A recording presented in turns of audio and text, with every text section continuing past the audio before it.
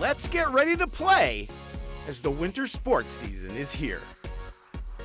Red's excited to kick things off, and it looks like his enthusiasm is catching on. So show us that stay with it, don't give up attitude as we slip highlight after highlight by you.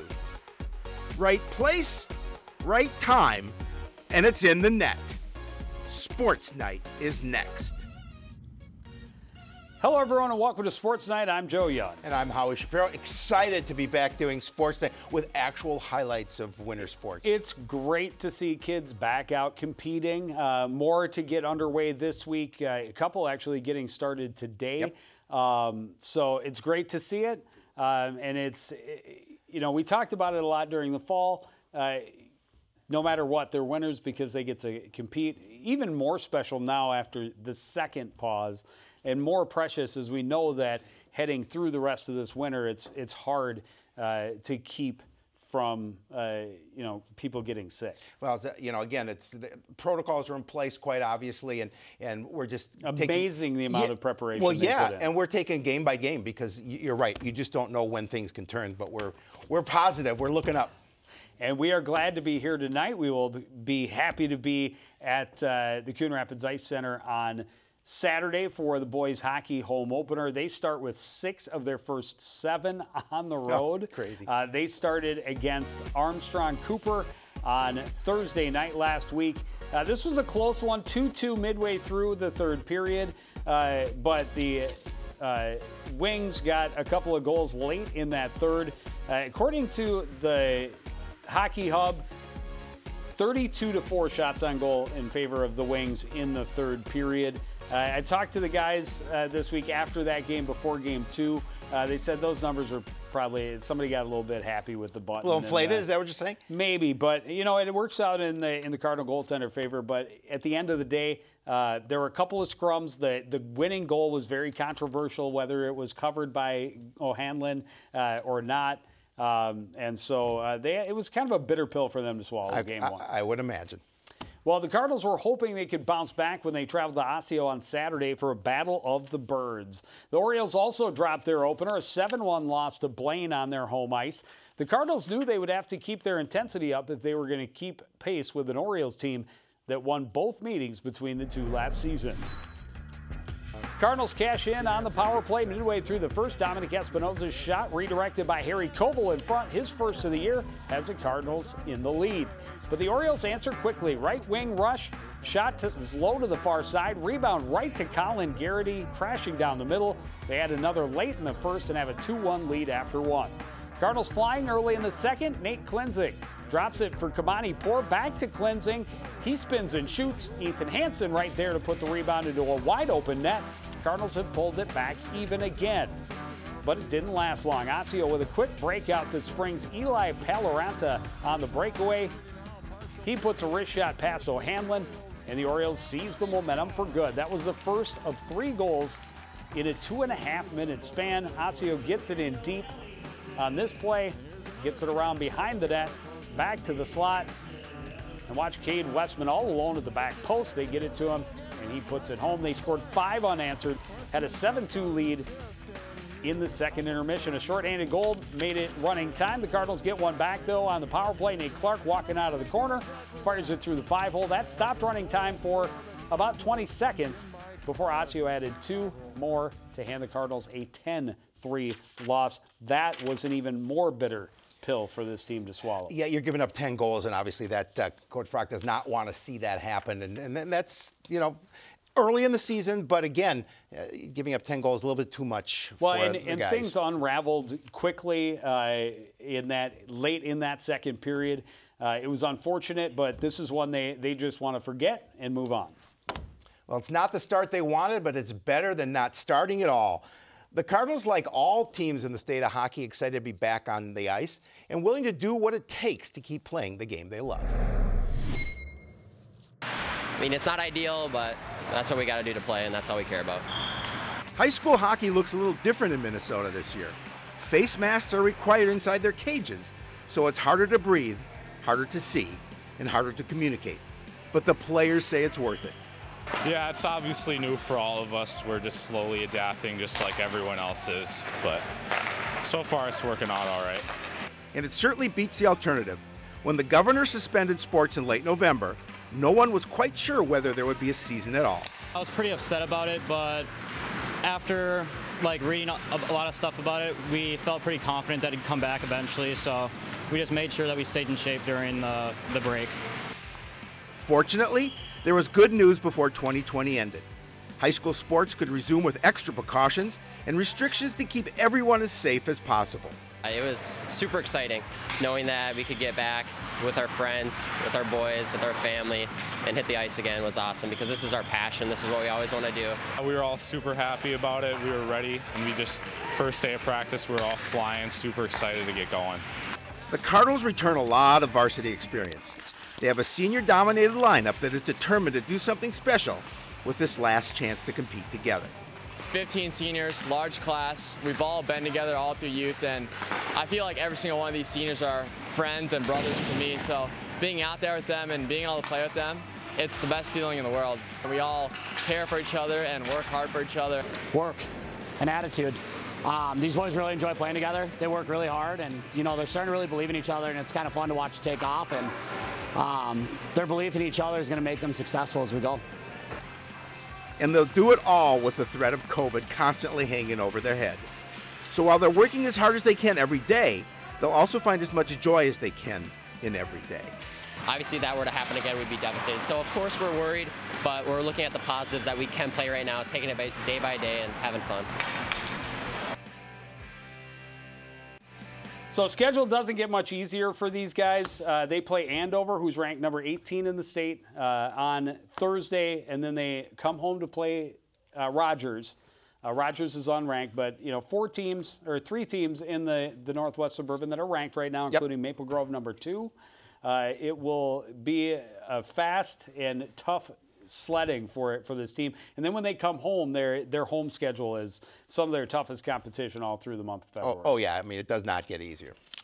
Well, the girls hockey team has a tough schedule to start the season as well. Four of their first six games are against teams in the top 20. And the Bluebirds start right at the top. They open the season on Friday visiting defending state champion and top ranked Andover. And the Huskies showed why they're the top dog to start the season. Andover dominant from the opening puck drop, and they started the scoring with a delayed penalty. Peyton Hemp with a great pass to Gabby Kraus for the redirect out front. That got the Huskies off and running. Just a minute later, little give and go in close. Madison Brown finishes at the back door. Andover in front, 2 0. That was all the scoring in the first period, but they were smothering the Bluebirds. CPCR held to just one shot in each of the first two periods. Andover, meanwhile, peppered Cameron Mayer all game long. 25 of their 50 shots came in their five goal second period. Running time in the third, but the pressure persists. Great point blank stop on the rush. Just able to get a toe on it and kick it away. They did add one more in the final frame on the power play. Mayer makes the first save, but Brown is at the back door coming up to tally her second of the game. Huskies coast to an 8 0 win.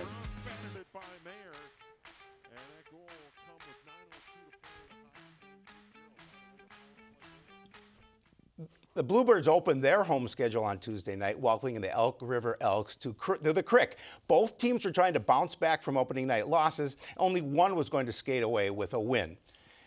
It was, it was a good back and forth game in the first, but Elk River breaks the ice late in the period. Claire Flayhaven gets the backhander past Cameron Mayer, and the Elks are on the board. They get another just over a minute later. Haley Jusala goes wide and puts it out front. Julia Wilson and, and Andy Hulstead are there, and Hulstead is able to poke it home and give Elk River a two-goal lead after the first. Elks rolling into the second. Allison Fisher drops it off for Maddie Christian. She fires the wrist shot top shelf, makes it 3-0. Start of a big night for Christian. Bluebirds able to get it back on the board still early in the second. Delaney Johnson shot a stop, but the clear attempt goes off a defender's skate and into the net. It wasn't pretty, but it counts. Unfortunately, that was all they would get late in the third. Fisher flips it out front. Christian buries it. Her third of the game helps the Elks skate away with a 6-1 win. Yeah, it's uh, that that top line for Elk River really really good. Uh, Bluebirds having a little bit uh, of a slow start. Just one goal through their first two games has to be a little bit of a concern.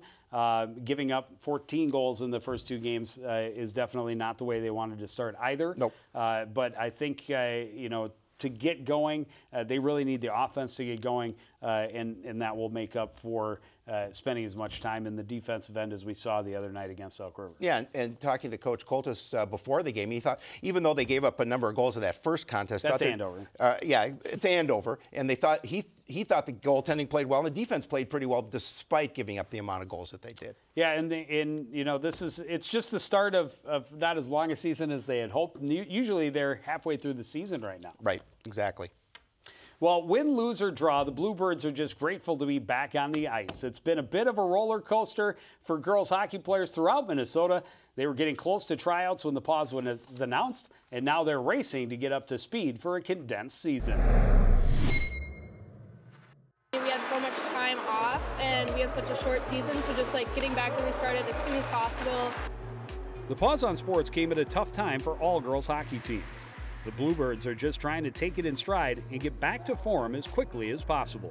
Well, was kind of sad because we had already been on the ice for a few weeks already and been practicing, so we were in shape. And then having to take a break in between before coming back was kind of hard, but I think a lot of the girls did their part during the pause on their own because we're looking good so far. The return to play comes with a lot of new guidelines and precautions in place. Team meetings are virtual, and when they are at the rink, they have limited locker room time, and athletes are kept in separate groups. We also, uh, when we're in the weight room or out here, we try to rotate coaches every 15 minutes, so coaches aren't in the same group for 15 minutes, and that helps with trying to limit exposure. And then we just do the tracing every single day. The teams have seating assignments for buses and limits on fans that can vary by arena, but the most noticeable change will be the masks. It's definitely a challenge, I would say. When we were scrimmaging in tryouts, everyone was kind of suffering with it on, if I, I would say. Um, but we're getting used to it. It's definitely a change. You get really a lot more hot, and it's obviously harder to breathe. It's not as easy to take a water break. You have to take off your whole helmet. The mask slips off. Like, it's definitely a change, but it's worth it. I mean, I'm willing to do it to play. The trade off, of course, is that they get back on the ice, back with their friends, and for a short time, everything else goes away. It's awesome. I love like hanging out with these people and seeing them and just being part of it, even though I can't play. Like it just feels good to be back.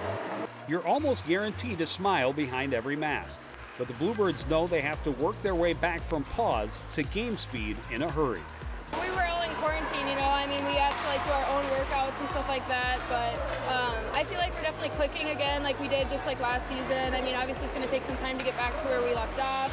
The Bluebirds are confident in what they have and they're hoping for success this season. But at the same time, they're savoring every second. Um, just playing hockey. I'm learned not to take anything for granted, so that's that's how I'm thinking now.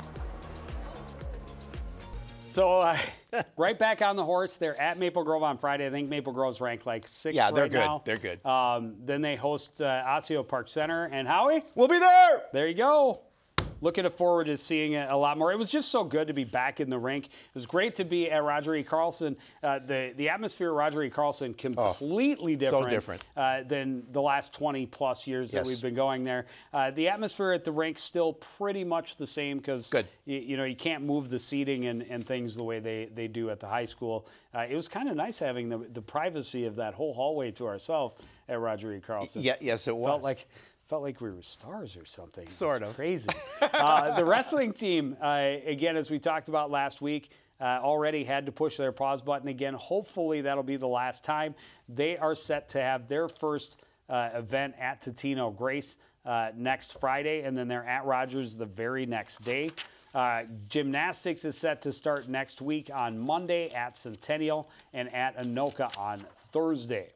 Swimming and diving team opened its season on Thursday and they opened with a win. The Cardinals took first place in every event against the Armstrong Falcons and started out with a 101 to 80 victory. Nick Melsha taking first in the 200 free and the 100 fly. Will Melsha in the 200 IM and 500 free.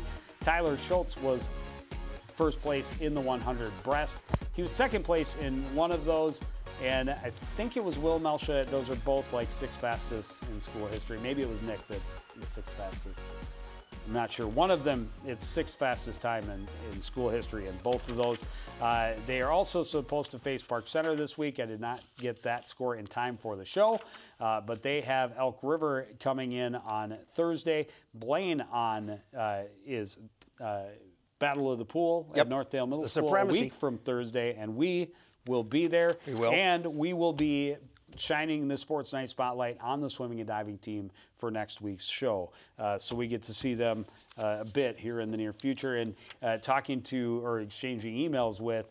Uh, head coach Doug Donaldson, very excited about the team that he has and, and what they may be uh, capable of doing this year. He Yeah. said, "I said, wow, you you start the season with a win. You always like that." He said, "It's the first of many." He believes. That's great to hear. I mean, he's, he runs a good program, so I'm excited for him. Nordic ski team, I believe, got their season started today over at Elm Creek. Uh, they'll be at Elm Creek again on Monday. Alpine ski team starts at Wild Mountain on Thursday this week and at Trollhaugen next Thursday. Boys basketball, well, both basketball teams got their season Correct. on opening night. Everybody getting started, or is a lot of teams at least getting started on Thursday last week. Uh, the basketball team's a tough task facing Park Center uh, night one. The boys traveled over to Park Center to face the Pirates, and uh, they lost by 40. 96 55. The final Elijah Smith and Jordan Doe uh, lead the charge with 14 and 11 points, respectively. Armonte Henry had 10, so three players in double digits. Gallimon and Ellingson had 9 and 4. Uh, and the Cardinals will are actually on the court tonight as They- we sit here are. on Wednesday night. Uh, they are they have their their home opener. We had planned to do a webcast. Uh, unfortunately, unable to uh, make that happen tonight. We are going to attempt to get some additional shows in that are just webcasts, single camera, not the whole truck shoot, but get additional coverage of Cardinal sports this week, this season. Yeah, it'd be nice to bring some additional games to everybody because uh, they certainly deserve it. Well, the boys will be at Armstrong on Friday and at Spring Lake Park on Monday. Well, the girls' basketball team opened its schedule at home, but hosting a Park Center team that finished last season at the state tournament. The Pirates lost some key pieces from that team, but they still prove they have plenty of talent to be a very dangerous squad. Credits to the Cardinals, though, as they battled back in the second half and made it interesting. The Pirates plunder from the start, scoring the first 10 points of the game. Adelia McKenzie with a huge night, putting up 32 for Park Center. Well, the Cardinals playing from behind all game long, but that not giving up. Great feed through traffic by Benny Kalala gives Kate Severson an open look inside. Severson had six points off the bench. Cardinals getting their bigs going. Jenny Ntombwe with a strong drive to the rim, able to finish on the putback, but Park Center leads 47-25 at the half. Second half is a different story. Ella Georgie, limited by foul trouble, knocks down a three from the corner early in the half. She was held to just five points in the game. But the Cardinals chipping away the huge deficit. Severson inbounds to Rowan Tom for a quick three-pointer from the corner. Still Pirates by 19 at that point. We're midway through the second. Cardinals take control of the inside game. Nicole Post with a great move to the basket, 15 of her 17 in the game in the second half. That started an 18-2 run for Cardinals. Kalala with a long pass down court to Ntombwe. She led the Cardinals with 24 points. Cards made it respectable at the end, but unfortunately dropped that one 77 to 67. I was really Nice- impressed by their play in that second yeah, half. absolutely. I mean, Uh, they could have folded at the at the at the half, and they really did a good job of chipping away. Well, and all three bigs got in foul trouble Yep. early. It was not as dire as we had thought during the game, uh, but Ella Georgie was lim- very limited very by, much so. uh, by those those fouls. And uh, you know, once they got uh, in Ntombwe and Post going in the second half, um, you know, if if they get on that type of pace uh, at the start, would have been a completely different game. Although McKenzie did kind of back off. She's an awfully good ball player. She's really good. I mean, she we talked about 32 points, and they, they did bring a lot of players off the bench, but still credit to Coon Rapids because they did a really nice job of battling. And you back. want to just keep getting better half by half, game, Yep, game by absolutely. game. So uh, they are at Rogers tonight, same schedule as the boys. They're home uh, against Armstrong on Friday and Spring Lake Park on Monday. We have them coming up uh, again. We have the boys coming up on our on our upcoming schedule. We have more girls coming up. Uh, girls is a is a live stream. Uh, we're going to try again on Monday for that Spring Lake Park game. Uh, boys hockey home opener against the Rogers Royals on Saturday live at seven o'clock, and uh, we'll have girls hockey live at seven o'clock next Tuesday as the Park Center uh, Osseo team comes to Champlin Park, Coon Rapids. A lot of good action on CTN. But that is going to do it for this edition of CTN Sports. I want to thank everybody out there for joining us and continuing to support everything we do here at CTN. For the entire crew, including Howie Shapiro, I'm Joe Young saying good night.